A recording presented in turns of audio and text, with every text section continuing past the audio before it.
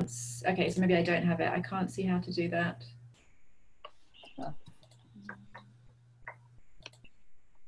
Oh yeah. No. Find it. Oh yeah. Okay, got it. To everyone. That's it. Yeah. Okay, so welcome Shibani. Um, so I put recording on now, everybody. Um, I think we should start now rather than wait any any longer. So just to say on behalf of uh, UTS and the HETA project, welcome to Agnes Sandor, of course. It's uh, fantastic to have her giving her time to preparing these resources for, for us. And many others are going to replay this and go through them after this afternoon, of course. So we'll hand over to Agnes, uh, who will explain what we're going to try and learn about this month. Yeah, well, thank you very much, Simon, and thank you listening. And and please uh, don't hesitate to uh, to interrupt me at any moment because you might have very, very different. There are concepts in it that maybe you don't understand. So I'll go through slowly. We'll see how far we get today, and then um, so please uh, make it as interactive as possible. Will so uh, I will. Hi, Shibani. Hello. So I will uh, share my screen. Uh, can you see my screen? Yeah. Yes? Yes. Great. Yes. So uh, I'm trying to make a slideshow. Okay. Yes. So before I begin, because this is the first proper course, the previous one, we didn't know that it would continue, what, what it uh, was going to be. So I just wrap up very rapidly what the goal of this course is. So it is, the goal is for you to gain expertise in modifying the existing rhetorical analysis systems that have been implemented in AWA. Uh, as you know, as you might know, there are two um, systems now. Uh, at, at, this point, we uh, analyze analytical texts and reflective. And the, in this course, I will go through the analytical parser, but uh, if somebody is interested in the reflective one, that can change as well, and we can do both. So this is the proposed program of this course on the long term which may, of course, be adapted to your needs. Uh, so first, the first part is theoretical and technical background, and I will try to be brief, but uh, it's important for you to understand it in order to be able to, um, to manipulate the tools. And we have done the general description of the concept matching analysis framework last time. We did a very little bit of lexicon, but uh, we will go through it again. Then uh, today, uh, the, the, the, program is system architecture and tools, but I, I, am not sure we are going to finish it today. We'll see uh, this, the pace at which we can go. And then uh, walking through the existing, existing system, this is a good exercise for you to see how it is built because it's important for you to know if you want to intervene or modify something, in, in which file you should go or at what point you should do it. And then the second part is practice, where we analyze the output and errors. Uh, we see what needs you have for modifying the tools and there will be exercises. There will be exercises all along. And then uh, if somebody is interested in implementing rhetorical analysis for a new genre or, or a new domain, it, uh, it, it can be interesting to, to go into it and, uh, and start it together a little bit. So, so this is uh, the general goal. Then um, I, I just wrap up very, very rapidly what the what what the theoretical background to this analysis is. So what what uh, the, the the method that we are going to go through is called concept matching. You will see why. So this is an it, this is two things. On the one hand, it is an analysis framework. So how to analyze, how to get at the rhetorical meaning in a sentence, and on the other side, it is its implementation in an NLP tool. So it is an analysis framework for identifying what we have called rhetorically salient sentence types. So types of sentences, se- sentences that convey types of rhetorical meaning that we will go through very rapidly again. And this identification is through patterns of concepts, which you will see again. So for example, here, this is a, a, a, a relatively uh, simple type of a rhetorically salient sentence, which is called novelty. Why is it, what, what is, what, what, what, what are the parts of the sentence that convey uh, novelty is the words in, um, in, in, in red, new insights provide evidence, or something suggests a new approach, or results define a novel role. So how do we identify these parts of the sentences? It is through the concepts that the words in red um, instantiate in the sentences. And there are basically two kinds of concepts in, uh, in this uh, sentence type. One is new. I, I put this, this, is an easy example, a straightforward example, because new doesn't have a lot of insta- a lot of um, uh, words that instantiate new, like new and novel. And the other um, concept, which is more complicated, is called idea. Actually, idea you will see is is is is, is, a, is an umbrella term. There are different other concepts uh, below, and this is insights, provide evidence, suggest approach, results define role. So these are these are words that are uh, uh, related to some mental activity and some thinking and things like that. So uh, the, uh, the, the rhetorical expression of novelty in analytical essays is conveyed by two concepts, new and idea. But this is not enough that you have new and idea in the sentence, but you also need to have relationships between them. And this is what makes this um, uh, new insights provide evidence, uh, coherent um, sentence uh, part.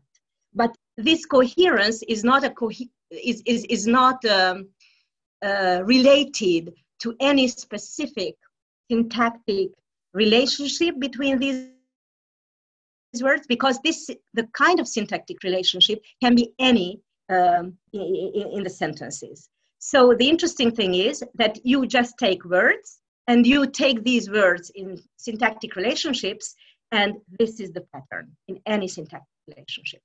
Is this uh, clear for you? Yeah. Okay. You you're you're you're okay. I, I, I, don't don't activate your micros. I see that they are not. So mm-hmm. please interrupt me at any point when it is not clear. So, um, so this is this is the basis, and then uh, how do we implement NLP systems that automatically detect these sentences? So there might be different ways of implementing it. The way I have been using is rule based. That is, uh, I, I uh, write rules that that uh, determine when these uh, rhetorically salient sentence types will be tagged. So how is this done? Uh, it, it, it, it is by mapping the concept patterns. So this is a pattern, new and idea in syntactic relationships is a pattern. And this is patterned into the, the linguistic realizations. So the relationships, the, the links between these concepts are mapped into syntactic dependencies. And in the actual system, in the, in the current system, uh, the syntactic dependencies are uh, detected by the Stanford parser. If uh, I, I, think everybody knows what a parser is, Emily, I, I, I, I, I hope I, I don't know if you know what a parser is, a syntactic parser. Um, okay, so so I assume that you know what, what it is. And um, uh, so the relationships are mapped into syntactic dependencies by the Stanford parser. And then the, the concepts are mapped into lexical features and the patterns into co-occurrence rules by our tool, which is Athanor, which was, or Athanor, which was uh, developed by Claude Roux, uh, my colleague. So this is what we are going to go through now. Now, very quickly again, uh, so these here you see the rhetorically salient sentence types uh, that uh, have been uh, modeled until today in, in the analytical parser, which is summary, novelty, background, contrast, open question. So these are the, um, the types uh, that, that, that are present in, in, in AWA. And uh, so here are roughly the patterns. So in the in the middle there is the concept of idea because what is what is um, an analytical uh, argumentative piece of writing? It is an um, it is a, um, a piece of writing where you want to speak about your ideas and you want to argue that your ideas are new that there have been ideas like this in the past, that there are contrasts among ideas, that there are um, there are tendencies by uh, where the um, uh, importance of some ideas grows, which shows the importance of that idea. You want to argue that your idea is important, so you give importance to your ideas. You may be surprised by other ideas, meaning also that there is something new about it. And and um, so this is this this is the um, the uh, the idea be, behind this uh, um, this system. Now uh, the the concepts that you see here are are, are, are, are the, the, the top level concepts because there are some subclasses which we will see later. So this was the um, uh, the uh, introduction uh, and wrapping up what we have seen already. And um, now to, to, to summarize the task that we have by writing a concept matching grammar. So by concept matching grammar, I mean the system that we develop for identifying the rhetorically salient sentences uh, in texts. So what do we need for that practically? We need list of, lists of words that instantiate the constituent concepts in the rhetorical patterns. For example, we need to have lists of words for new and idea and all the other concepts. And we need co-occurrence rules that match the sentences where the, those sentences where the constituent concepts are syntactically related. So for example, if the Stanford parser, which, um, which detects the syntactic relationships uh, between the words, finds a sentence in which a word that instantiates new and a word that instantiates idea are syntactically related, then tag this sentence as novelty, like in, in the sentence, new insights provide evidence. So these are the two tasks that we need to carry out. And now we are going to see how the Stanford, so the, the basics of the Stanford parser and the basics of Athanor. So the outline of the course today is first we see the architecture of the concept matching system, which is rather straightforward. And then we'll go through the tools, the Stanford parser, what does it do? What, what, what is the output of the parser? And on Athanor, what is its output? Uh, how do we configure a grammar?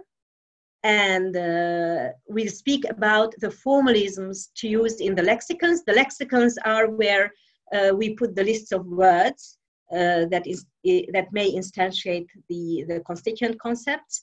And we'll go through the rule formalisms to write the uh, co-occurrence rules. So this is the, the program for today. Now, the architecture of the concept matching system, really straightforward. So the input is a text, is a, um, a simple text, a, a file with, with the uh, uh, extension text. Well, what I'm talking about is for development, because in the actual system, the formats are different. I'm talking of, of the system that we are going to use for the development of concept matching uh, uh, and, and the testing and, and seeing, uh, uh, analyzing individual sentences with the tools themselves, so not through uh, AWA. So the input text goes to the Stanford parser first, and the, the output of the Stanford parser is an XML file. I will show you this file.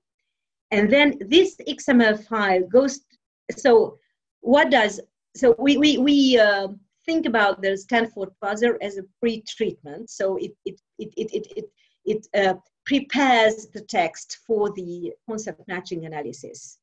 So what does the Stanford parser do? So it, it, it, it segments the text into sentences. You uh, usually there are many sentences in a text. It is segmented into sentences so you don't have to do this. It assigns part of speech tags that is it, it will say what is a noun what is a verb etc to to the to the words of the sentences because it also I, I didn't put everything that it does it it it segments the sentences into words and it also uh, um, gives the syntactic dependencies between the words. So this is what the uh, Stanford parser does. And then what Athanor does, it assigns the concept features to what we call the lemmas. Uh, we'll, we'll speak about it later. And it selects sentences with the instantiated concept patterns. And uh, so the output is called the file type is co- called output res result.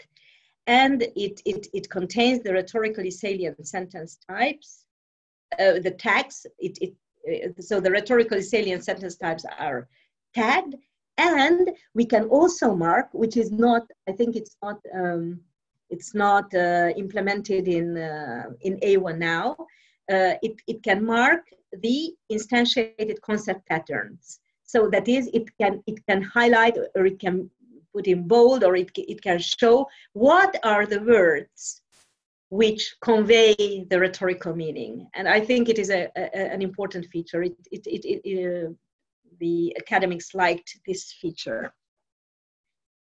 And actually, that's something Yeah. we that's something we need to pick up again in the new version of the uh, the AcaWriter tool because those words are not actually in bold at the moment. Yeah, well, it's very, very easy to do it because uh, we know which these words are, so they just have to be signaled. Okay. Uh, yes. Now, the Stanford parser, if you, if you, so you you need to have the Stanford parser if you want to um, intervene in AWA. And here is the uh, URL for, for downloading the Stanford parser. I met where the version I use, I think there is a, a, a newer version, but I don't know the compatibility. Uh, I, so I, I think it's better to, if, if, if you want to do something to, um, to use this version, and uh, here is the command to run the parser. So this is just for you if you're interested in this. And then, um, so uh, the, the examples that I, uh, which I will use to illustrate what's going on uh, is here. So here is a sen- here here is a I, I created a file which I called sentence text, and uh, which contains the three sentences that were uh, the, uh, the three novelty sentences. And uh, to show you what um, uh, so what the Stanford parser output looks like, I hope it will open.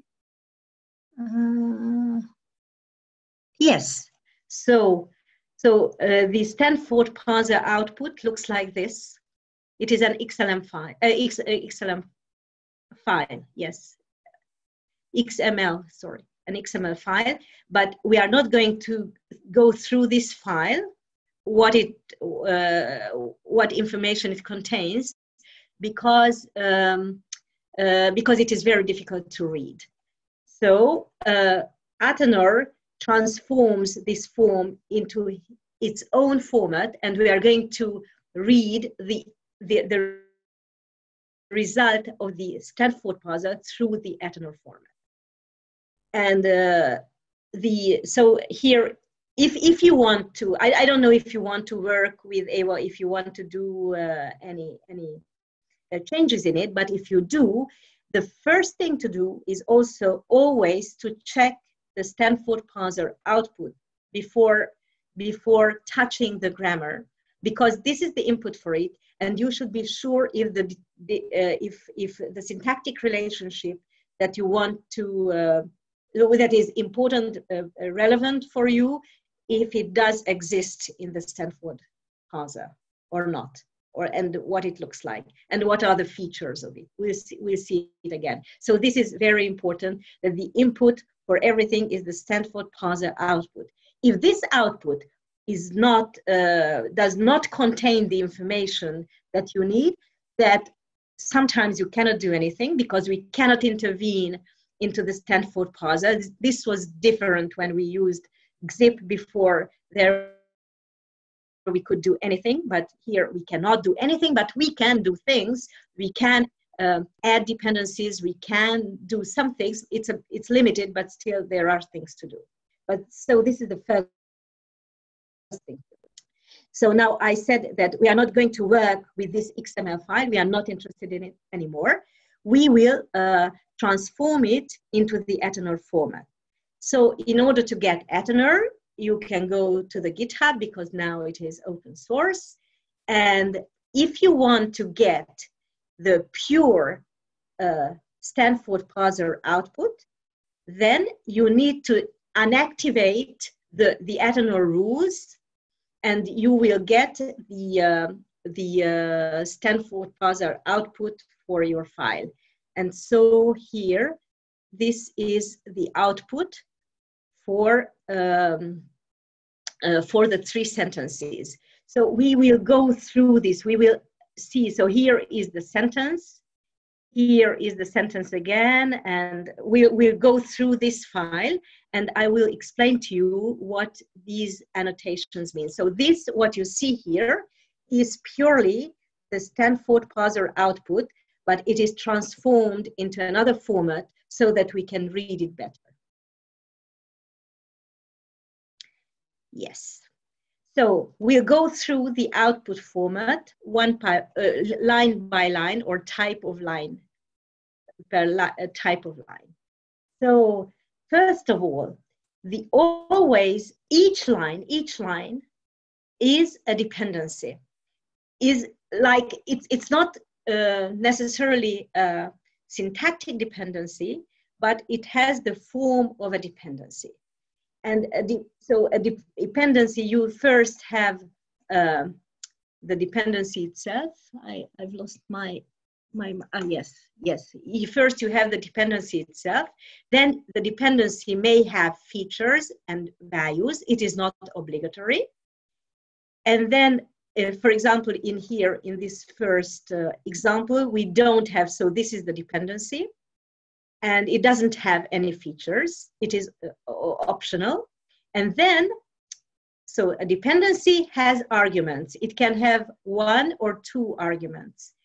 And the arguments can, oh, uh, ah, I, I made a mistake. It's not the arguments that can have a value. It is all, only the features. I, I didn't try to well. I, I, I will um, uh, correct this. So the arguments can have features and the features again can have values. So this is the overall, it, it is very simple. It is every line uh, every line of uh, Athanor, I think it is of this format.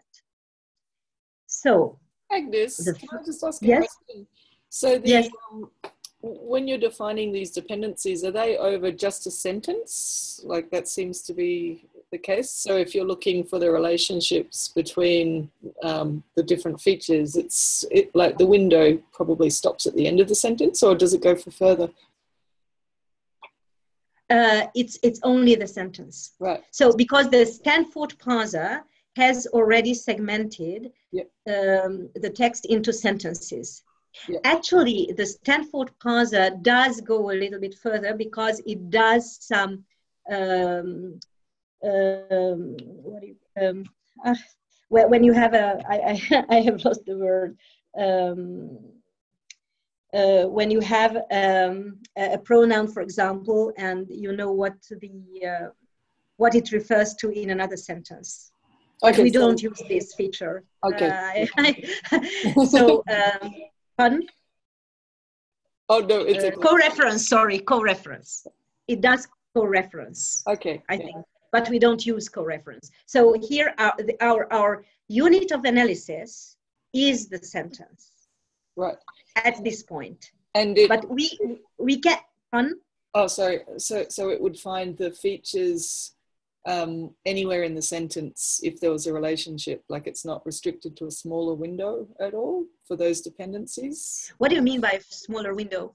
Um, oh, I was just so some of the ones I've seen, you define maybe a three or four word window in terms of the co-occurrence. There's nothing like ah, ah, sorry, sorry, sorry. Maybe it, it wasn't clear. So what happens is that the text is is segmented into sentences, and from now on, we are analyzing the sentence. There is no such uh, uh, concept as window here. right. Yeah. we have the whole sentence and in the sentence the goal is to find the relationships between the words but this the stanford parser does it um, on a statistical basis so they they uh, uh, trained it with hand uh, analyzed texts a lot and and uh, and it analyzes the um, so it, it will give out the syntactic relationships uh, within the sentence. There, there, there are no windows. There is the sentence,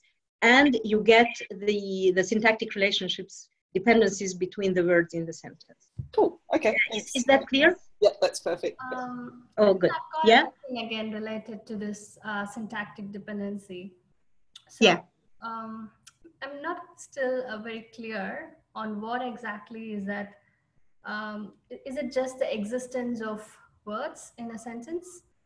If it's if it's not looking for co-occurrence of words in a window. Well, we we what what what what we are going through now is an incremental analysis. Mhm. So the first analysis is so uh, we we are, we are going step by step, and this is how uh, the analysis is going as well. It it, it it it does first. First thing is to do is to analyze what are the syntactic dependencies because the co we we can see if there is a co-occurrence. Uh, be, uh, so to see if there is a pattern that involves co-occurring um, uh, concepts, we can only know it if we have the syntactic analysis done. I, I'm, I'm not sure that this was your question. Um, so, so what exactly is that syntactic analysis that Stanford Okay. Is doing? I, I will show examples. So I will show you examples what they are. I, I, I so it, it is maybe the next line. We see not not the next, but after that. yeah, yeah, okay. So if we go on this, go through this slide, and you don't understand it, then let me know, okay. right? Because we are going to to. Uh, I, I, I I hope you understand from this what a syntactic dependency is, right? Okay, okay. So now what what I'm explaining now is what how to read the output of the uh, of, of Athanor because this is the output that we if if you want to uh, do any changes in the grammar this is what you will see and this is the basis we uh, uh, so on the basis of this you will do your your uh, modifications. So, and, and what I said was that this, um, the output, the lines of the output are a dependency which can have features and values and arguments which can have features and values. And the first line that you see is um, this, the, the, the sentence, the sentence represented as a dependency again. And this is the root means that it is the upper level of the analysis. It is one um, uh, uh, depend uh, like like a one dependency and the argument of this dependency is called root uh, again and its feature is the sentence itself. But this is not very important for you. What is important for you is to see that this is your input sentence. And this is important as well because this uh, d root dependency will get the feature of the which will be the, uh, the, rhetorical type of the sentence. But again, we are going to see this. Now, what else you see in the output? You also see one line for each what we call token of the sentence. A token is the word type. So in the sentence, you had the, the sentences, these insights provide direct evidence, etc. One of the tokens is insights. insight is the token, is, is, is, is, no, it is the word occurrence, is the occurrence of the word in the sentence, is the, uh, how the word, uh, in what form this word occurs in the sentence, and it is insight. And then we are going to go through this line, what everything means in this line. So uh, the tokens are uh, represented in the output put by the dependency that is called SYN. And uh, so you see that the name of the dependency is SYN, and its uh, argument is the token insights. So what, it, what does it mean? So here you have, I mean, it, its argument is, I, I, I did say it well. The argument is uh, the part of speech NNS which has the value insights. But again, this is not very important. The important thing for you to know is that this is the insights token, which has the part of speech um, NNS, which means a plural noun in the Stanford parser. So this is uh, Stanford parser. This is always the the um, the argument is always a, Stanford parser um, uh, label, uh, part of speech label. And here you, you, you also have attached the list of Stanford parser part of speech tags. So you see that NN is noun, NNS is plural noun, NNP is proper noun, etc. Uh, RB is adverb, verb, and the different verb parts. So, um, but in Athanor also have other kinds of part of speech tags, which come, uh, which which we which we use uh, like noun, plural, and noun. Um, uh, so these these are a little bit different. I mean, these are the different, the same part of speech tags, but uh, but may but uh, represented differently so that it can be more modular modular. And you can use these features these noun plural noun etc all these features in the grammar. We'll see the we will see uh, the importance of this because sometimes we want to write a rule where plural is an important uh, ingredient and uh, with the tags of the Stanford parser, we are not able to express it. We, we would need to uh, list all the plural elements, for example, NNS or, or plural verb or etc. And uh, uh, by using the um, these other uh, types of tags, it, it, it, can be useful. Maybe you don't understand it now, but the, the important thing for, for now to know that there are two types of part of speech tags, but the, they mean the same, but they are just different representations. You have the, the Stanford ones and the Athanor ones.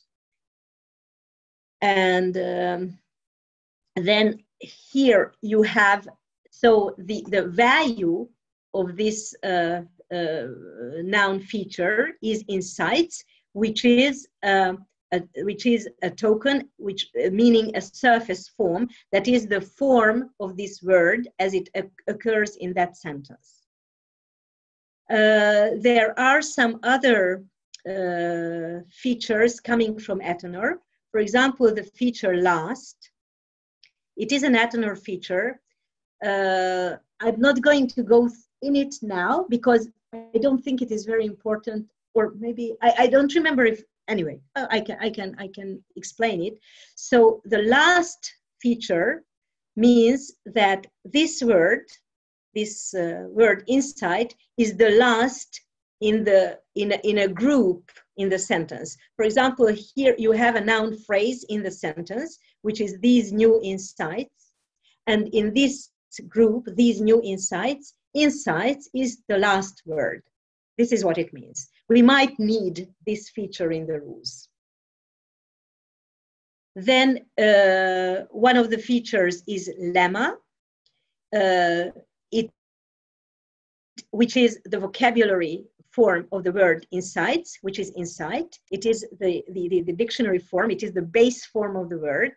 And this is very, very important because when we assign the concept features or other features to words, it is to this dictionary form that we assign the features. And this means that, um, so if you, uh, that, that the, um, the feature will apply to the word in every uh, form of this word, insight or insights, or in the case of verbs, the present, the past, and all all, all the forms. And we will go, uh, we will see it again when we speak of the, of the and, and the importance of this when we go to the, to, to the lexicon. Then um, this is, um, this is again a, a Stanford parser um, feature named entity. So it, it just says uh, the value is either yes or no, either it, it has a name. And so this, this token, is it a named entity or not? If it was, for example, uh, UTS, UTS would be named entity one because it is a named entity. It is a proper noun, in other words. And then uh, the ID is the, um, the identity, uh, uh, is the word ID in the sentence. So this is the th third word in the sentence. And then there is uh, one other feature, the speaker. I don't really know what it is. Uh, we, we, we are not going to use this feature. So these are the, these, these are the types of features that are assigned to each word in the sentence. And this is represented by the SYN dependency in Athanor. So what is important is that you have the part of speech infor information, which is very important, which you have in two formats. You can use uh, any of the formats in, in the rules, either the, the, the Stanford or the Athanor part of speeches. You, you, we will see how and why, and uh, that's all. For this kind of line, SYN. And then you have the syntactic dependencies. And the syntactic dependencies are like here, if we, we have new insights, which is a syntactic dependency called a mod, which is um, adjective modifier. And here you also have, ah, what happened? What happened? I, I, I maybe, uh, yes, so uh, here is the list of all the Stanford parser syntactic dependencies uh, with their uh, meaning. There are, uh, for example, uh, auxiliary case, copula. Uh, these are not the determiner, for example, the house, determiner dependency, and um, subject, uh, object, direct object, indirect object, etc. So you can object, you, you, you can look up the meaning of these dependencies. But um, for the time being, what is interesting for us is just the existence of this syntactic dependency. And so um, the um, in in Athanor, the uh, the arguments of this syntactic dependency are the parts of speeches, and their features are the words itself, and you can see the word and slash the lemma. So you see the syntactic dependency, adjective modifier of between new and insights, new insights like as words, uh, tokens, and also the lemmas, which, which are um, uh, denoted by slash. But in, the, in, in, in, in case the lemma is the same uh, as the word form, there is no slash. So insights, new. So these are the, the syntactic dependencies. Now, here we see for these three sentences, uh, the, the, the Stanford parser output and what the Athanor, uh, what Athanor adds to this uh, um, uh, input uh, after the concept matching rules of novelty, new idea. Uh, so novelty is, is, um, is the pattern of new and idea. And idea has two subclasses, mental and scope. And here you can see, so here the first sentence is these new insights provide direct evidence. Here is the sentence without any tag. And here it is tagged as impsent in, in, in Athanor, it, it is important sentence. So it is all the sentences that are tagged will get the dependency name impsent and which will have um, features and the features of the sentences are the um, um, the rhetorically salient sentence types. So Novstat, I called it, but you can you can map it into the words that are used in in in in in, in AWA. It is the novelty. It is novelty. So here you see that the sentence after the uh, uh, after the rules in the output you have um, you see that this sentence is novel. All the three sentences are novelty. The third sentence is also summary. It a contribution is summary and any author means that, uh, but we, we, we, we see uh, these tags again. It means that um, actually the parser doesn't know if this is a summary of the author's uh, own writing or it is the summary of somebody else's writing. Because these results, uh, when you see these results, you don't know if these refers to the to, to the article uh, to the, the current article or to the work of somebody else. And then uh, I gave the tag any author. We don't know who, who what, what, what is summarized.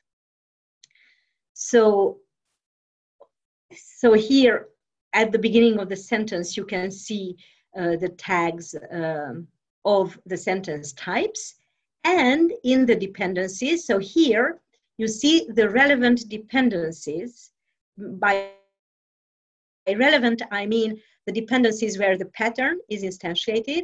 So here in the first sentence, new insights provide evidence. We see that the, the, the Stanford parser has found uh, syntactic dependencies between provide and insight because insights provide and you see that insights is the subject of provide and this is the subject dependency. Then uh, new insights, there is this uh, adjective modifier dependency. And between provide and evidence, there is a direct object dependency. So here on the left, you see the raw output of the Stanford parser. And these are the three dependencies. that need to be detected by the Athanor rules and be tagged as important dependencies for the um, um, for the label. And here on the right, you see that these dependencies have been rewritten as I call them. Uh, why why uh, I don't I don't remember key key sentence word. I think I KSW. They are all historical names. So key sentence word dependencies, meaning that it is the important dependency which has the features nov- novelty, like new, and scope. The insight has the um, uh, the feature scope, which I, I am going to uh, um, uh, to exp- well to describe what scope is. Scope is, is the scope feature is a subclass of the idea feature. It, uh, it, it, it, it, it, it, it, it, it is words about the products of mental operations, like insight. And uh, so if you have two words in a sentence that have um, uh, that have uh, concept features, then the dependency will be tagged with these concept features and it will be called um, a key sentence word dependency, an important dependency. So in, in, in the case of these three dependencies, in all, the, in all the three, these are important dependencies because they contain two words which have uh, the constituent concepts. And then the rules say that if you have this constellation of constituent concepts in the sentence, then call, tag this sentence novelty. So here you see the input on the left and the output in the right after the rules. Okay, so if this is clear, Shibani, is, is it clear now? Yep. Yes, yes? Yeah. So you, you, you see what uh, syntactic dependency is? Yep, yep. Yes, okay, yeah. good. Yeah, yes. So, so this is very important to understand uh, what I've said until now because this is really the basis. And if this is clear, then we can go further and see. Um, ah, yes, yes. Then you can do an exercise if you want if you if you are interested so here is an exercise that you can do after the course so you you can create a file of the three same sentences and then you run the stanford parser on this sentence and uh, so first run the stanford parser and then comment the lexicon and dependency rules in the file analyze Anna Kif by writing these two slashes at the beginning of the line. But be careful uh, because there are already slashes. Uh, so you, uh, when you unslash it, so you, you should know which ones uh, have already been slashed, which uh, commented out. So that if you, when, when you put back the original, um, the original status, then you don't unslash files that are not important. So you, uh, you comment all the rules and the lexicons for the, um, for the concept matching grammar, and then run analyze Anakif on, on the Stanford parser output, on, on the XML output of the Stanford parser. So you run um, uh, AWA on it, and you can uh, observe the dependencies. Uh, and then if you rename uh, send uh, the result, you, you give it another name, and then you uncomment the lexicon uh, and the dependency rules in analyze Anakif, then and you run uh, Athanor again, and then you can compare the two results. So this is a good exercise for you to do. The same thing that I, I, I, I showed here. So you will see uh, side by side the original Athanor, uh, Stanford output and the Athanor output. And you can see what the difference is between the two. So this exercise is just for you to, to, to practice what's going on here. And Agnes, we, this is where we would use those, those terminal tools you put in the folder for us. Yes, you would use the terminal tools when you want to edit any of the grammar files. If, uh, you, you would use the, the tool when you open uh, the file analyze anakif. This is the configuration file where you have all the files that are run, that are used for Athanor analysis. And to comment them, you can do it in these tools. But you can use any other editor as well. You are not obliged to use those.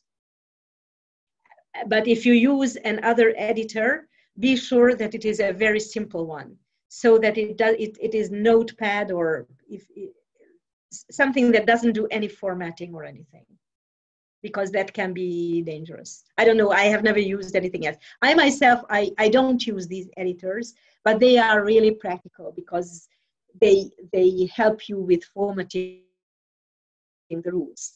And uh, I, I myself i use emacs but I, I i work in linux.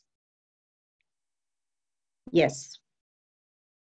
So if you if you feel like doing it it's I, I think it's very useful because you can see yourself but you can also go through this uh, slide and see uh, what it is. But if, if if you do the exercise then you practice a little bit uh, uh at a very a very easy manipula- manipulation of the tools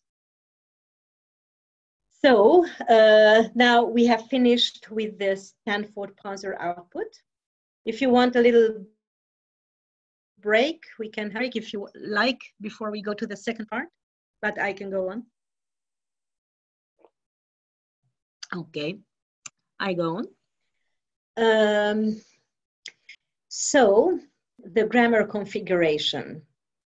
It means that you gather all the files that you're going to need for the grammar. And the grammar uh, configuration file is this um,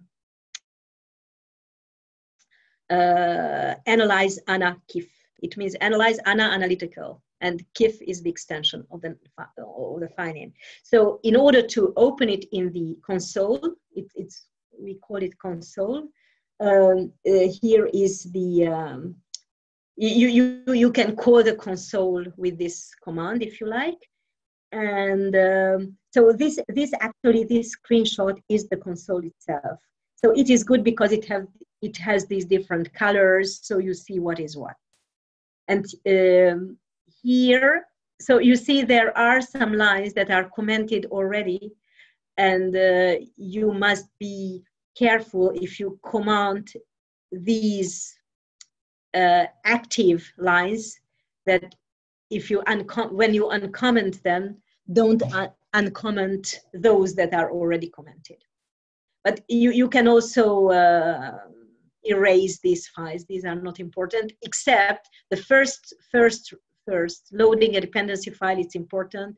Loading a lexicon file and loading features because these, these comments show you the um, uh, the structure, structuring of the files, which is important because you might add new files and it's important for, for, for this to, uh, to be modular, I think, if you have different systems and or different domains, for example. So this is the configuration file where you have these are these the dependency files are the files where well we, we, we'll go through these again and and and uh, we see what the function of each type of file is. Except we I, I i don't have a file about the features. I have forgotten about it. Uh, yeah may, maybe i have something we'll see so uh, as i said you can add as many files as you like and it's better to keep it modular but um, the one uh, one thing I, I, I forgot, I will add it again. So I will uh, I will um, upload a new version of this after I, I, I add the changes that I uh, I think of now. Uh, that um, the order is very important because it is an incremental system. So the rules will be exec executed one after the other. So the first we have the new dependencies, then the add feature, and then the other add feature and the dependency. And if you add a new file, you need to be very careful where you put that new, new file.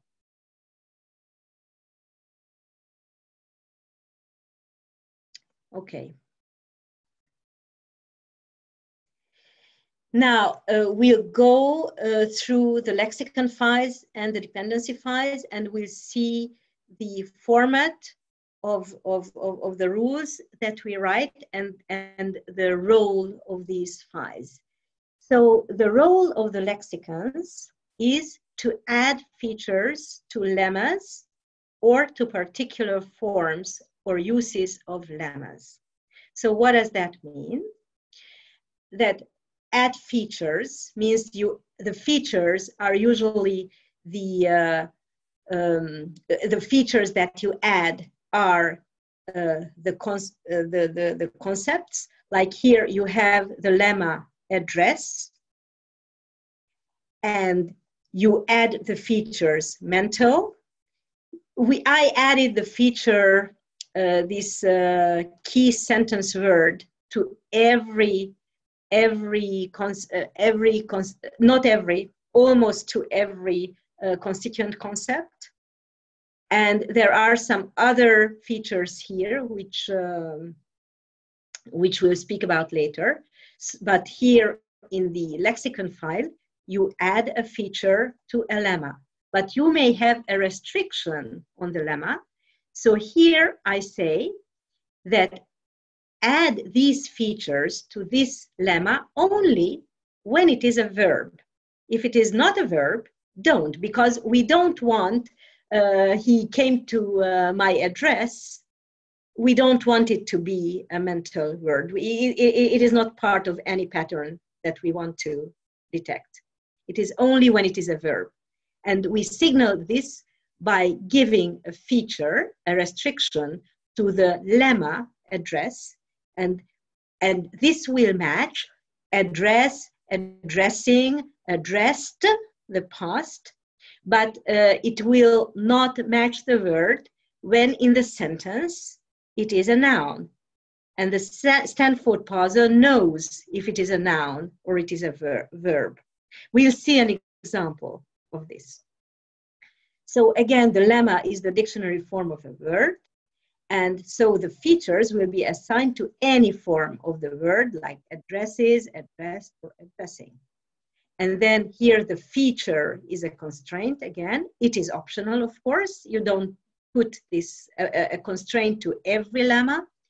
And so the tag is only assigned to the lemma if the text, if in the text it's analysis uh, part of, or it's not necessarily a part of speech, we'll see it again. It it matches this or does not match this. So you can also say when it is not a noun you could also say that. Give uh, uh, address these features when it is not a noun. But in this case it was easier to say when it is a verb. And then here these added features are uh, the, the constituent concepts or other features that we assign to these um, uh, to the lemmas. So here, this means uh, uh, equals plus means that you assign this feature. And the, the colon plus means that it does have the feature. And it is always the same in all the, all the types of rules. Now, uh, so here is the beginning of the current uh, lexical ANA-all text file. It is a text file, so the lexicon file is a text file, and here it is in the in, in the user interface what it looks like this uh, this file and so you see there are some duplicates in this file but this is because I'm, I, I, I generated this Athanor format automatically from the previous format. So uh, it is it is it is not completely clean, but it doesn't matter. So it doesn't matter if you have uh, uh, two lines for one word uh, or anything, or even if you have the same line twice, it it it, it also uh, happens because it is because of historical reasons, and uh, it it doesn't matter. But if you like, you can clean it up as well uh, for visibility reasons. And uh, also, you need to know that there are some features that were used in other systems for other purposes, which were left in, but this doesn't matter as well. I mean, this this all can be cleaned up. It is not really clean. It it, it is the result of of, of quite uh, hasty work that I did on on uh, transforming uh, the uh, the previous grammars to this format so i didn't go into cleaning it up. And uh, here i asked claude why concept is in blue and he said because it is a keyword in uh, in the program. So it this doesn't matter at all either so this is uh, what lexicon the lexicons look like and so a very important point is that uh, it's not, we cannot know in advance what lemma the, the Stanford parser assigns to a word form. So, uh, so there is a word form and the lemma is an interpretation of the Stanford parser of this word. And we don't know, there is not a list of these because, because the interpretation uh, uh, depends on the sentence itself. We don't know if, for example, if we have the form accumulating, if the lemma will be accumulate, or or uh, uh, so here, okay, here we have we are accumulating, and the lemma will be accumulate and accumulating, accumulate, accumulated, accumulate but we have the word, and here again for accumulated, we have accumulate. But uh, in another case, we have opening, the opening hours, and the lemma will be opening and not open. It could have been open. Or these are shared resources. Shared is analyzed by the Stanford parser as an adjective. Shared and it's not analyzed as the past perfect form of share. But it it, it, it could be the case. We don't know. Um, for example here you see they accumulated evidence. Clearly accumulated is a verb and the lemma is accumulate and this is accumulated evidence it could be analyzed as an ad- adjective but it is analyzed as a verb by the stanford parser so by precaution, uh, it's better to, uh, to, to, to list in the lexicon, if you have a new word, if you want to add a new word, all its forms as a lemma, because we don't know what it will be. Is this clear? We don't know if it will be accumulate, accumulated, or accumulating. Because it's it's not it's not uh, it it it it, uh, it is not systematic. And the analyses are not uh, uh, maybe ambiguous maybe not so so straightforward to see what the lemma is. But again this is not something that i did systematically myself yes uh, simon you want to ask something no no that's fine that was just going okay. yeah that's clear ah okay okay okay okay great Stanford uh, is not perfect. The Stanford parser is not perfect. It's not that it's not perfect. It's it's it's not that. It is so these are difficult. Uh, these are difficult choices. and maybe it depends on. So if if you uh, we we had very very uh, long discussions about it when we built. Well, how should we uh, analyze something as a noun or a verb or which what what should be the lemma? These are really grammar is really really really fuzzy. The the the uh, the concepts are not very very clear cut. So it's not it's not they, these are not easy these are not so nothing nothing you you, you cannot say that uh, uh, it's an error. It is it is just you have to know that sometimes it is like this and so you're right it is not perfect because it is not systematic but even for humans it's very difficult to be systematic in this case. So to illustrate how we use the constraints on the part of speech.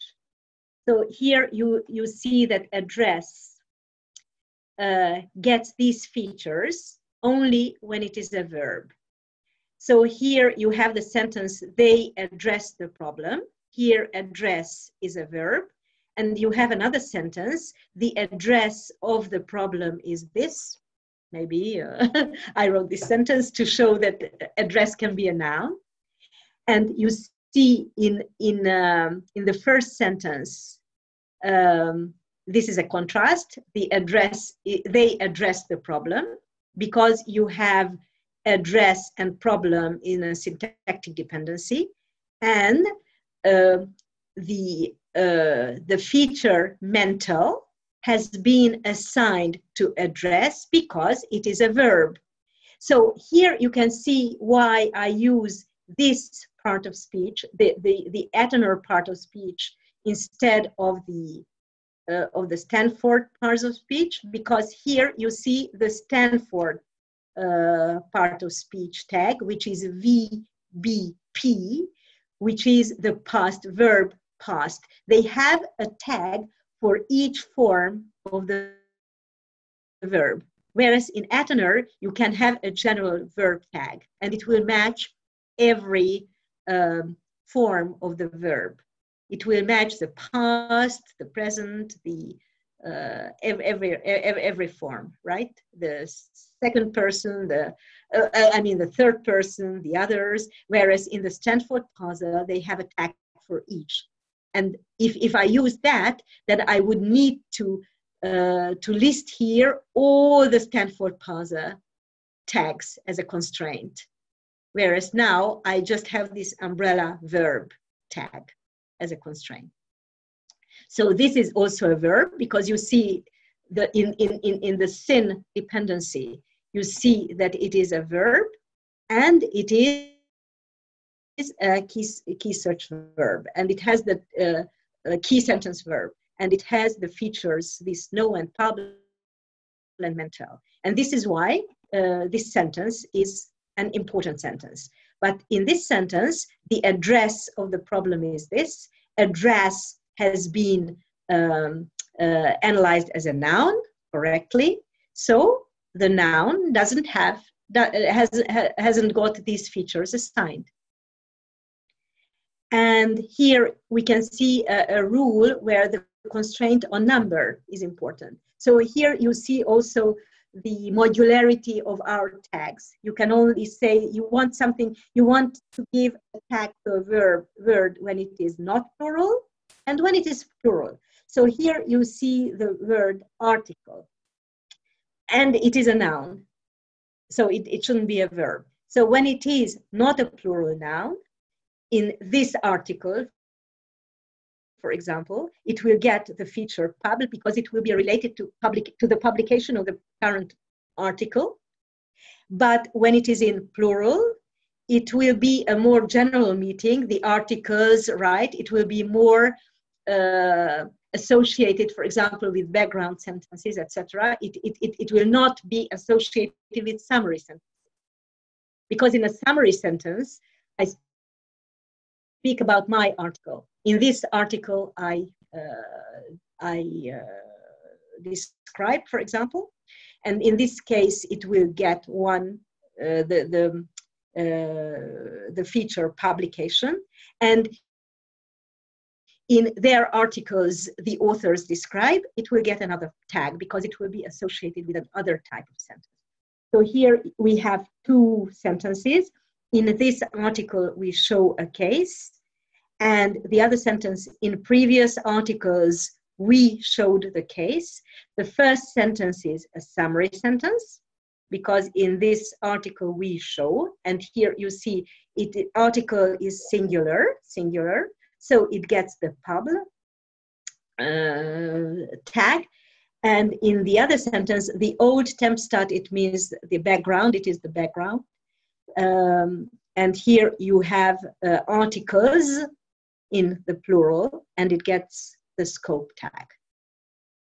So this was to show the importance of the constraints on the lemmas in the lexicons and how it affects the analysis.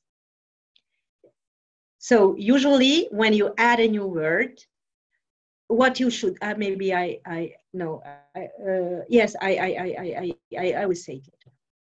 So here you have a table of the constituent concepts, uh, ethical features.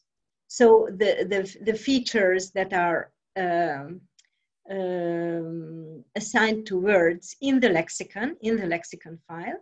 These features can also be assigned in other files. I will show it when, be, be, so because when you, when you assign a feature to a word in a lexicon file, then it means that this uh, assignment is context free.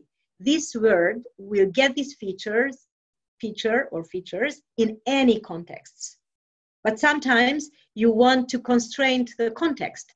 For example, when you have um, the word draw in the context, we draw on uh, somebody else's work, you only want to give um, concept, assign um, um, a constituent concept to the word draw only if it is followed by on you draw on. You don't want to assign it in a case where I drew a, I don't know, I drew a pencil out of the box. And, but you cannot give this feature to draw in the lexicon file because then it would match all the occurrences of draw. So we'll see how to do that in the dependency files. Now here, in, so in this table, there are all the constituent concepts. I mean, yeah, all the all the major constituent concepts that are used in the analytical grammar. Here you have their um, explanations, and also uh, on the right uh, the rhetorically salient sentence types, which we which with which they are most associated, in which they appear, where they appear in the rules. So the first is attitude, importance, and surprise. These are concepts that are put together because they are all related to sentiment and evaluation. They have slightly different semantics.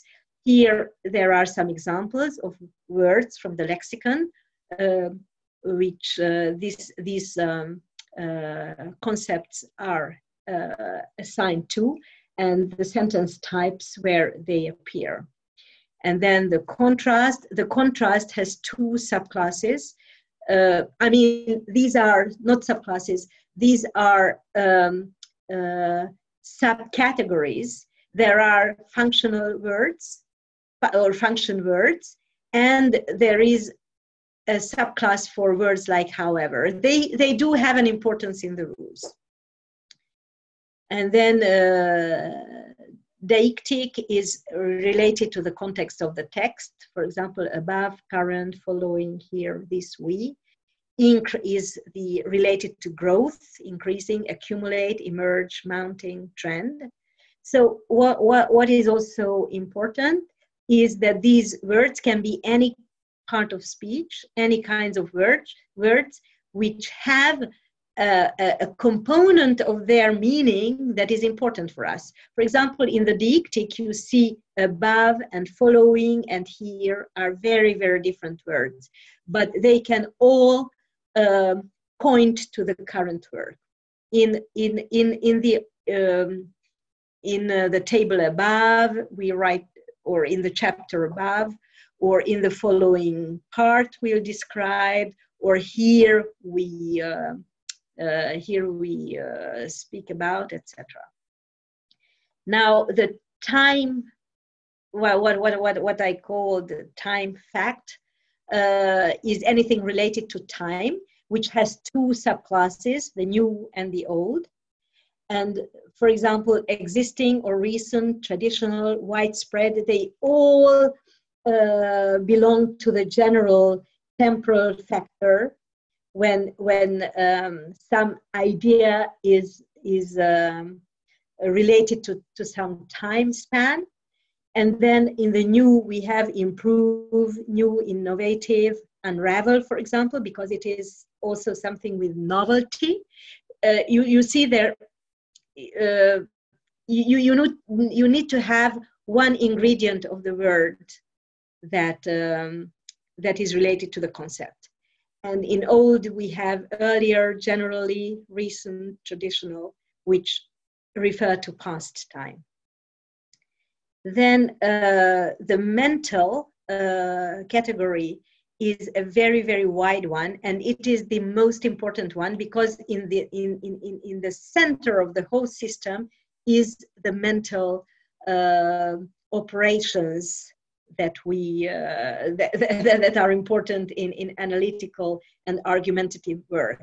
So uh, for example accept or analysis or argue clear something is clear dismiss clear mentally imply uh, and it has some so this category has has the uh, the subcategory which uh, I call know, which is related to knowledge, uh, what we know, clarify, recognize, study, unclear, well known. So these uh, so uh, these words get both the tags, the, the categories mental and no And we know, we use this no category in the question, because uh, question, uh, open question uh, type. Uh, it is not known up to now or, or uh, it hasn't been studied or it is unclear. It, it is related to this open question tag. And then the pub is everything related to publication, which will be associated with the summary, like address, documentation, discuss, and paper. And then uh, the scope, it is related to research output, but mental and scope are very, very, very close. And, and I also created a tag meant scope for in, in, in, in uh, rules where it is um, it is indifferent whether it is mental and scope. Uh, academic category finding, finding only when it is a, is a a noun, of course, a new finding, a review or topic. And there is also a category wide scope, uh, which, which, uh, which uh, denotes uh, uh, large scale research output like very general research output like approach dogma idea theory and view because these so these uh, these um, uh, concepts and sub-concepts are importance uh, are have some importance for uh, the patterns. It is maybe not very straightforward to see why exactly these categories are here but i think when we go through the rules and the system itself, it will become clearer. Agnes. Yes. Um, yes. Novelty. Should, mm-hmm. is, that, is that missing from the from the right hand column? Should that be under background? Uh, exactly. You're right. Yeah. Okay. Thank you. Thank you very much. And, and novelty to add. yes, had, exactly. We, we, had a discussion by email recently about um, position because uh, yes. I, I, emailed you saying mm, we don't seem to see position coming up very often. Um, no. And it, it, was to do with a stance, and we had been we had been misinterpreting that as perhaps um, that the author was discussing adopting a position or, or discussing a perspective. I think yeah. yeah. Uh, and this is in fact very close to surprise. Uh, it, it is that the author is expressing um, an attitude to Yeah. something. Um, yeah. Yeah, well, all this is attitude, but I think, for example, this per- perspective thing, the way you understood it, would be very important. So this can be, for example, a case for creating a new class, a new tag, a new new uh, sentence type, if we can find a good pattern, if we if we can um, uh, define a new a new uh, sentence type, it could be very interesting. Right, because um, one of the things that So I- the kind of sentence that Hmm, you put so the kind of sentence that my position is this and that. So yes, for or the time being this is not a, a sentence type that we tag right, but if uh, we think that this is important and if there are different ways of saying it so it, it is it is uh, it is material to further research yeah. for this. Because it one of the things that we uh, that we do as academics and one of the things we try and get students to do is to explicitly adopt different perspectives. Yeah. So we would say according to this theory or yes. fo- following following this argument or from this perspective or uh, you know um, so you you are essentially adopting different epistemic lenses onto exactly. onto a problem. And it's that would be a very nice move to detect because this would be an i agree i agree i agree. Well this would be at a different level though but this is this is really very interesting.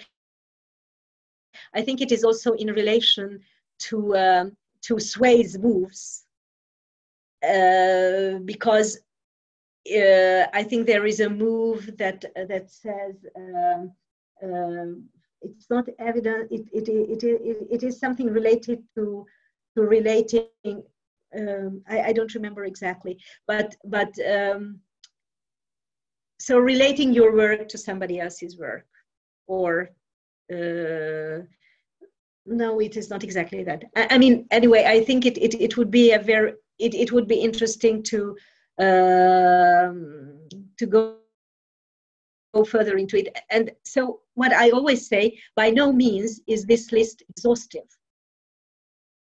The, these are the things that have come up up to now, but there is uh, the possibility of further developing the system and adding new moves because these are not all the. this is not an exhaustive list of the moves that appear in uh, in Yeah. argumentative writings. So, absolutely yes so so here are so these are the basic um, the basic uh, categories and then there are some some some other features as well so there is one feature that is very important which is, which is called weak it is words with a very general meaning that add little to rhetorical meaning but they do add something like different, discover, hope, must, rather, and think. So if, if, if there are, for example, there is a rule that says if in a sentence uh, there are two words in, in, uh, in, um, in a syntactic relationship and both are weak and there are no other uh, important um, important um, uh, dependencies then don't tag this sentence. Because for example um uh, we dis- uh, uh, uh, we hope to discover i don't know a, a, new plant maybe so this is not a rhetorically important sentence. We but but if you say uh, a new theory was discovered it is important. Because uh, theory is not weak. But we'll see it again in the uh, in the in the rules how this uh, weak uh, label works. And then uh, there is a, a, tag for example no not which means that words that are not constituent concepts when they are when they are negated And uh, for example, unknown, when you say not unknown, it is not interesting, but unknown is very interesting. Or uh, change or contest or so almost all the negative words. And then uh, there are some other uh, weirdly looking. Can, can you, yes. I mean, words like contest um, are are. I don't understand why why that's an example. Yeah, yeah, yeah. You're you're. I, I think you're right. We don't contest. Don't don't contest this. Yeah. So uh, if you see things like this, you can erase. Just erase the tag. You're right. I think. Mm. Yeah, there are mistakes in this one as well. It is not. It is like uh, every product of. Uh, mm. of, of, of, of, of NLP, it's not perfect. I yeah yeah probably you're right, and and uh, we should see examples. Right, and yeah. when, when you started yeah. talking about weak, I thought at first you were talking about hedges or qualifiers. No. No, that's different. No, no, no. It's it's very very different. Are, are, very important features. Yeah, I mean these these uh, this is words which are really different, uh, very general, and um, and and often occur in the in, in in sentences like different. Different means uh, does does indicate a contrast, different from something, but it is very general and we don't want it to uh, to be uh, tagged in any case. If it is, so, if you say. Uh, um, um, uh, let me see. It is rather different. You don't want to tag it. You you you you don't want to. Uh, but we rather we rather think. For example, we rather think it can be important depending on the on, on, on, on what comes in the sentence. Yeah. But if you just say we rather think it's not very important. So these words will only get be will, will only be marked if there are other things in the sentences that um, that uh, confirm that the sentence is uh, important. Okay uh, and then these weirdly looking things with with Menskopul, with etc. So these are used for disambiguation of words that are only so it means that these are constituent concepts only when they are syntactically related to specific constituent concepts. For example, and, and this is marked by the name. For example, with time, it will be a word that is only a constituent concept that when it is in relationship with time, not with any other constituent concept. And but but in order to enforce this tag, I needed to write rules. There are rules that say that whenever a word has this uh, this tag, it shouldn't be considered as as a keyword. But we see also, we see this when we go through uh, the existing, rule, uh, existing rules. And then there is um, a tag transparent, which, uh, which is um, added to words that have very general meaning and may link to constituent concepts, like ability, that like the theory's ability to show, for example. Then there are no direct links between ability and show, uh, uh, theory and show, and it is ability that links them. And there will be a rule that says that there, if there is a transparent word, then take into, into account the indirect dependencies for the co-occurrence rules, not just the direct dependencies. So I, I so here these these two uh, slides are here for reference for you uh, when you look into the uh, the rules and look into the output, you can understand what the features mean. So, and when you add a new word, then try to find a similar word and copy its features. This is the easiest way to go, go about it.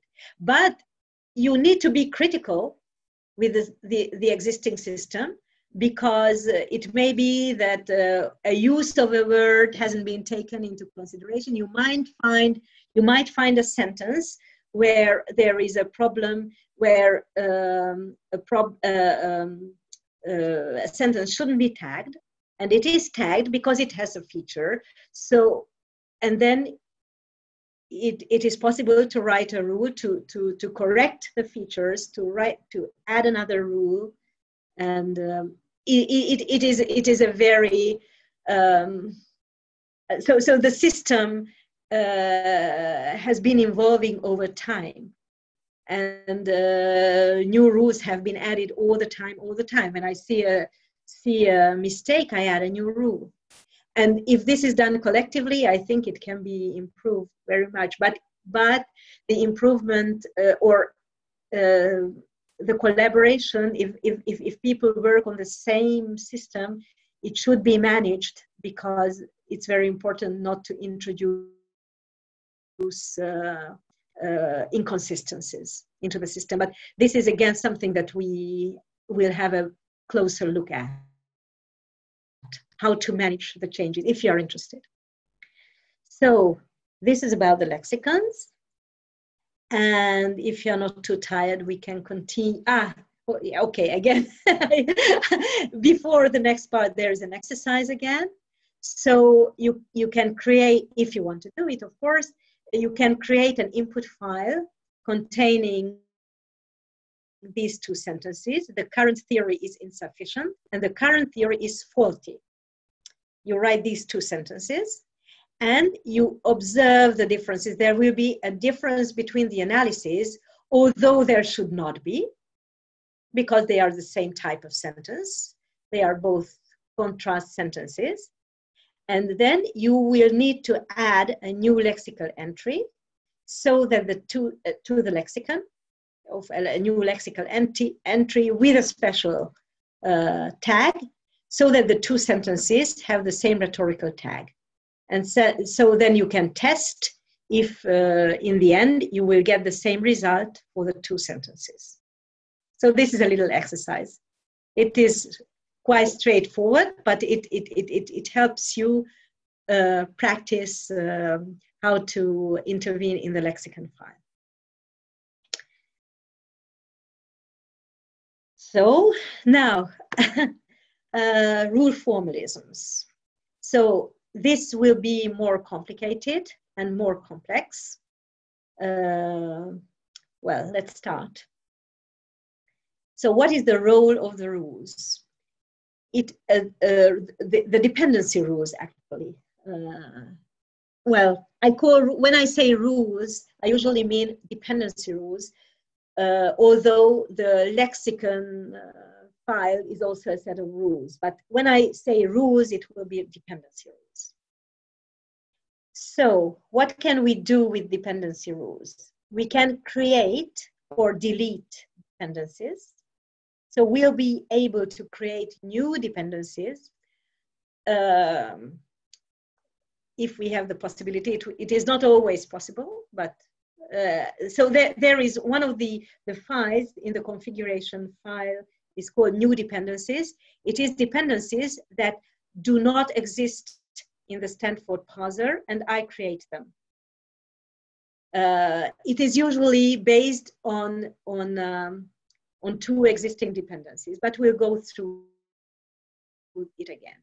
So we can create and also delete dependencies, which we don't need. We can add features. So the most important work is around features because the constituent concepts are features and the sentence types are features. So we add constituent concepts to lexical entries in order to group multiple features as a single feature. So this is one function. For example, scope and mental is are, two different features, but in very many rules we need it together. So there is a feature meant scope. So we see say that every word that has a feature mental and every word that has the feature scope has also the feature meant scope.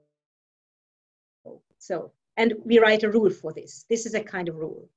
Then we can add or delete features to or from lexical entries depending on their context.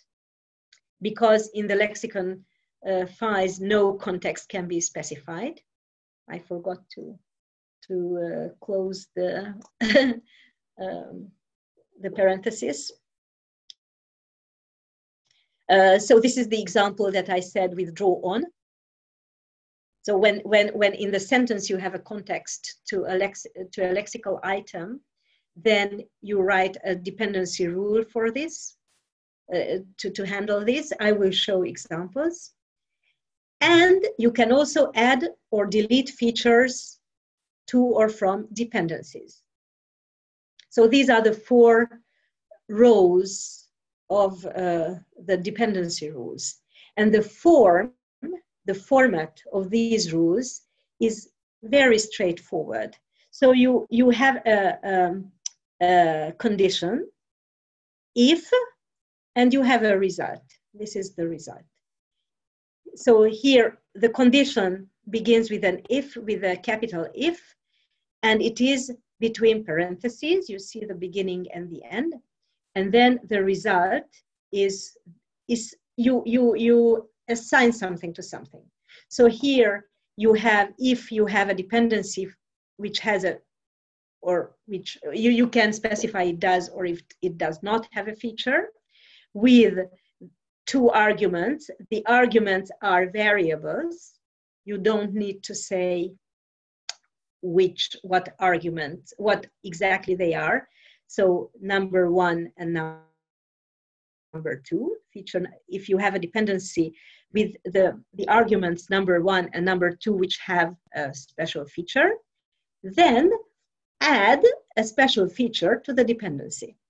For example, if you have a dependency where you where the first um, the first uh, argument has the feature time and the second argument has the feature scope, then this dependency will have the feature time and scope, for example. So you need this, you need to add a feature to a dependency because it is this feature that will uh, help you to write the co-occurrence rules. If you have a dependency with these features and these features, then you have this tag. If you have a dependency with a contrast and an idea and a time, then you have a contrast dependency, for example. If you have a, a, a sentence where you have a dependency uh, that has the features new and idea, then the sentence will be novelty. And then another, so this is, this is one form, but the other is the same uh, except except that you in this case you uh, you uh, delete a feature from one of the arguments. So here the con- the condition is that you have uh, if you have a dependency which may have a feature with these two arguments then from the first argument you delete the you delete the feature. So in, in order to delete features you always use the tilde and to add a feature it uh, uh, uh, equal and uh, this this sign and uh, to add a feature equal plus. So this is this is just the form of the rules and very very important that the order of the rules count uh, the, the order counts the same way as the order of the files in the configuration file counts because the rules are executed one after the other. So you must be very careful if you add a new rule, at which point you add it. So here it is the rule formalisms. And then we will go through uh, all of these cases, what, what all of these um, functions of the rules mean. So it, uh, creating dependencies. Uh, here we have a sentence. These are critical themes and issues. Here, the Stanford parser outputs two dependencies, one conjunction dependency between themes and issues, and one modifier dependency between critical themes. But, when, but it, it is also important for us because we want, if we want to mark the, the important words in the sentence, that, that uh, critical also modifies issues.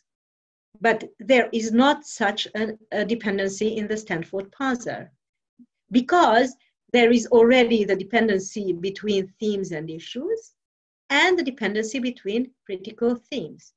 But we would like to create this dependency, so we do create it, a new a mod dependency. We say if in a sentence you have a, conj- a conjunction dependency between one and two, the arguments one and two, like themes and issues, and there, the and, so it means that and, there is also a modifier dependency between one that is uh, theme and three critical of of the uh, modifier dependency. So these are variables, and these these are numbers that you you assign to them a, a number, but the same number is always the same word.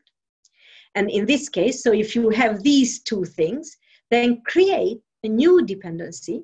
I gave it the feature grammar and analytic grammar so that I know that this, this dependency was created by me, by the grammar, because you might make mistakes. And so uh, it might not be a very good rule. So you, you need to know that you have to come back to this rule and modify it if it is not a good rule. So you, I, I, I, I uh, mark all the rules, all the new dependencies that I create with grammar, uh, analytical grammar. And so I create a new dependency, uh, which will be between uh, critical and issues. It will also be an important dependency. Unfortunately, I, I, I, I didn't copy here the results, but you can check all these yourself. So this is the way new dependencies are created. Then I also may want to delete dependencies. Uh, I don't want a conjunction dependency be uh, an important dependency. I don't want uh, themes and issues to be an important dependencies. Uh, but I, I, I have created this dependency before because the very first rule is that when you have two words which have the, the key sentence word tag, create an important dependency of it. This, because it is a very general rule, it covers everything, but I want to uh, limit this. I don't want themes and issues to be something important. What is important may be critical themes and critical issues, but uh, themes and issues is, is not important in itself. So uh, I write a rule that says that uh, uh if, if I have a conjunction dependency and it is uh, it, it, it is an important dependency that is a key sentence word dependency then um, uh, delete it. So the dependency that I want to uh, I want to uh, modify, I uh, mark uh, is to be marked with this uh, sign. I don't know what you call this sign.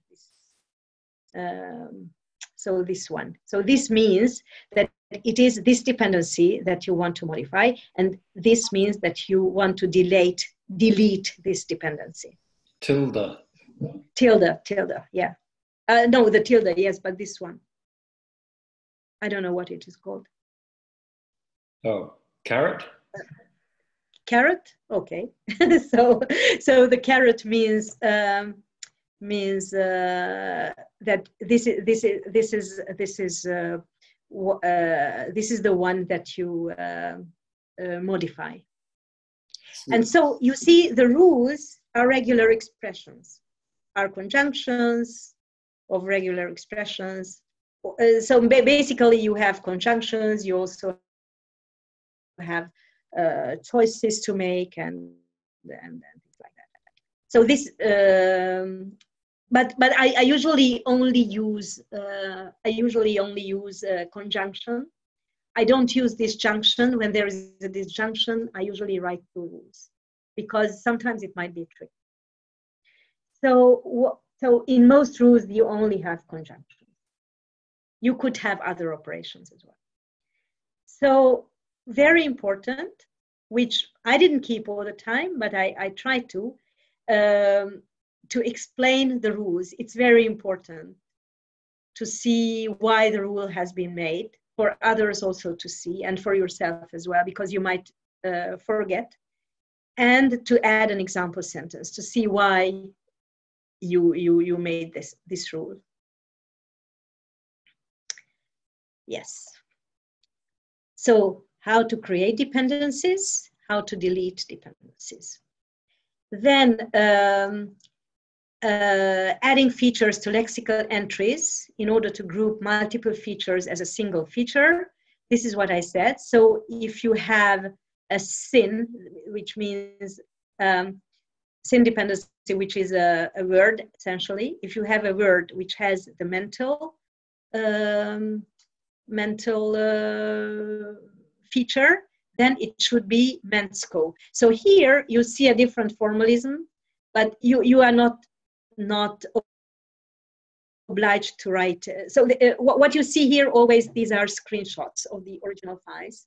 And there are different ways of adding a feature. You can also use the, uh, the quotes, but it's not necessary. You, uh, the, it's, it's, it's, it's, it's, it's option. So you, you use either format you like.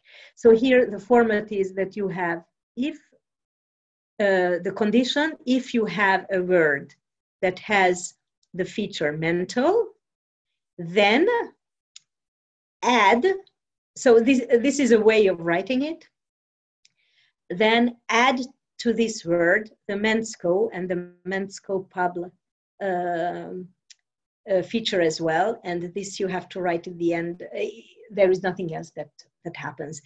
There is another way of writing it.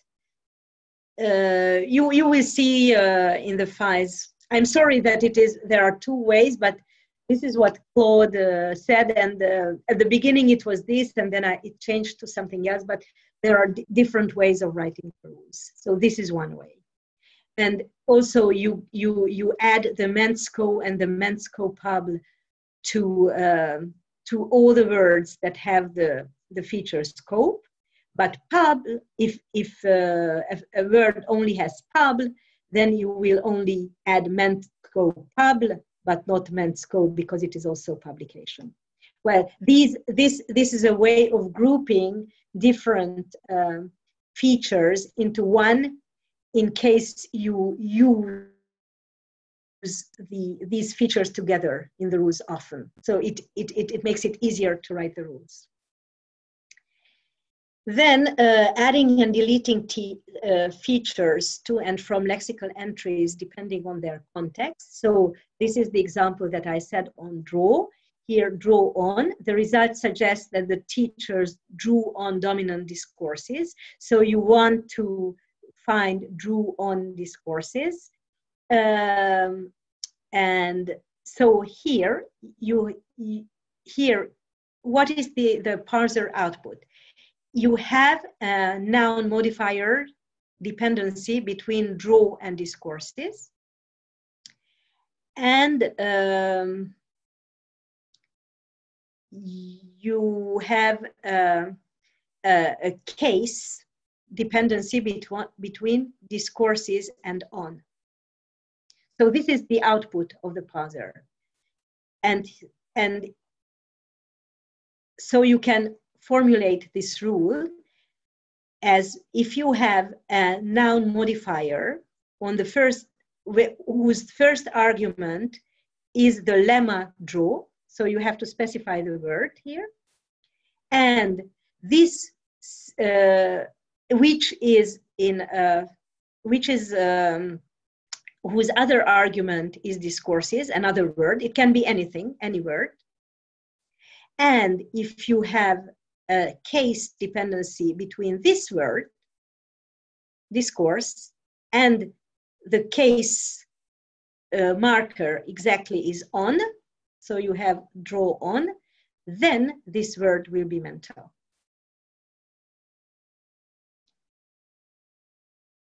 It, it is a very, very, very specific rule for one word with one in one context. And this is the way you can mark uh, phrasal verbs, for example. But if there are many of these, then you can create a label for phrasal verb and you can write a rule in which it is not the lemma draw uh, that will be uh, used, but its, its, its feature that you give in the lexicon.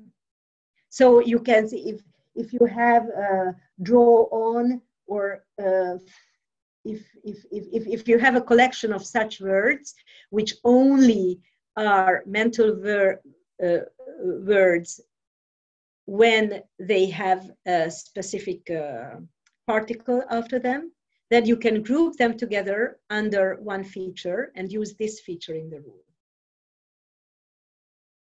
Uh, I don't know if it is clear. But we'll see. I, I, I didn't have a, a collection like build, of such words. Build on. Pardon? Build Pardon? on. Expand. Uh, on. for example, build on. Exactly, exactly. It, Uh-huh. Yes, exactly, exactly.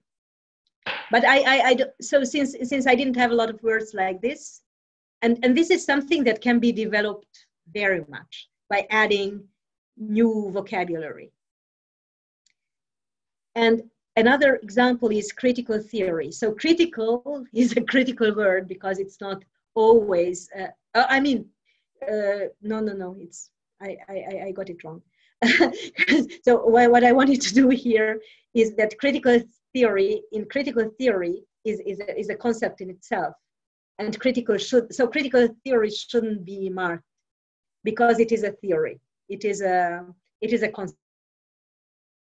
so the way to inactivate it is to say that when you have a modifier critical theory for the lemma critical and the lemma theory then we uh, uh, get rid of all the all, all, all the features that they have for the grammar.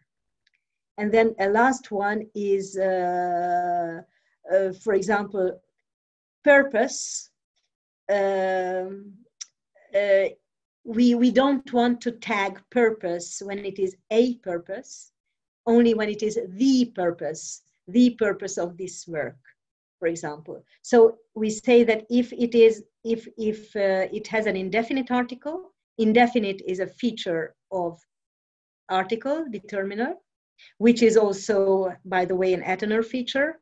I don't know if the stanford parser has this feature so if uh, if in this um, determinal determiner dependency uh, the determiner is indefinite then purpose should not be a publication word. It is only a publication word when it is the purpose of the article. A purpose is not. This is the rule. If you consider that this is not a good rule you can comment it then uh, adding, deleting features to and from dependencies. So here, um, uh, uh, adding features, what is it?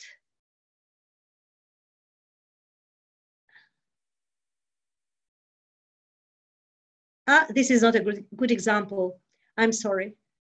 Here, here I delete I delete the dependency altogether. I delete a dependency. Sorry, I will, I will make you a, a better example for this as well. Sorry. Uh, what number is this? I don't know. Um,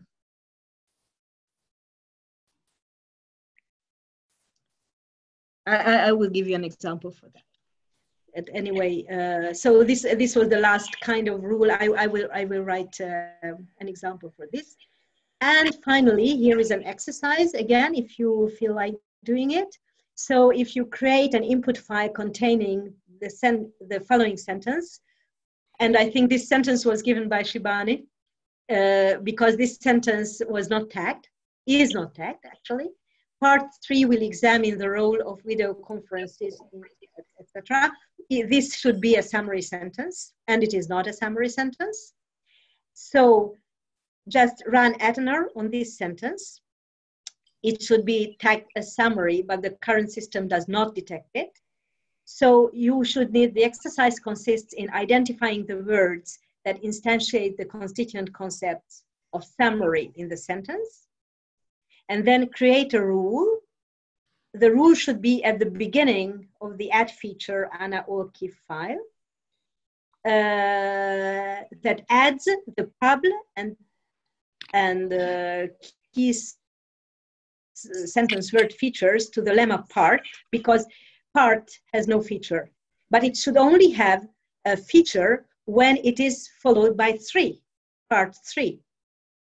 So in case uh, it is in a dependency relationship with a number. And now you will need to find out how to designate number in Athanor.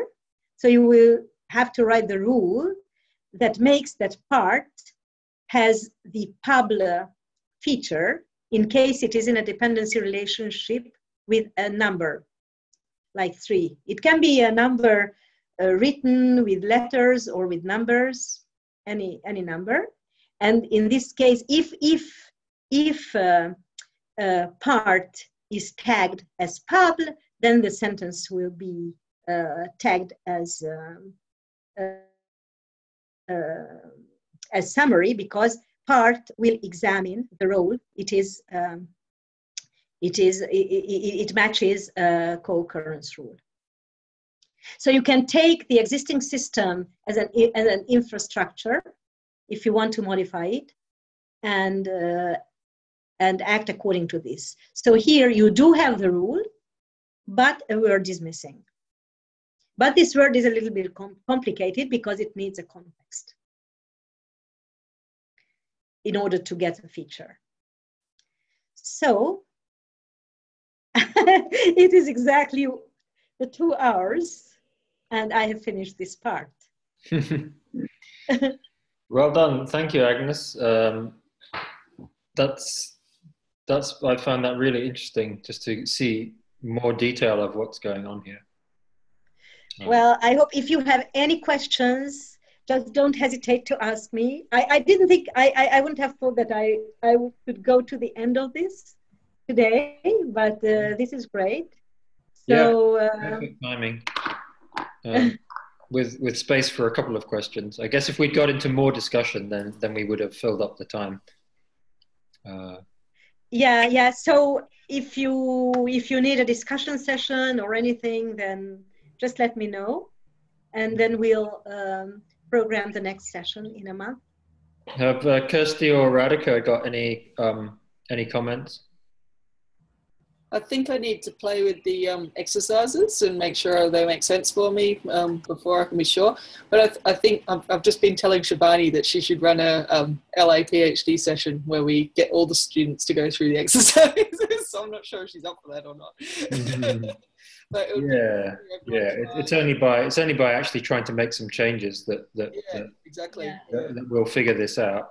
Yeah, so that yeah, I guess we have more questions when we try to run exercises and I, I am sure I'm sure you will have a lot of questions. yeah. Okay, um, but um, we we really appreciate that the effort you've put into creating this, Agnes. That's fantastic. Oh, thank you very much. I, I, I it's a pleasure for me to do this. Actually, it's it's it's interesting for me as well. I like to do it. and I'm very glad if it is if if it is useful to you. It's great. Yeah. Um, okay, I'm going to stop recording now. So thank you very much, uh, and uh, we look forward, well, look forward, to the next one. Well, thank you for listening, and uh, well, we will uh, take up next time.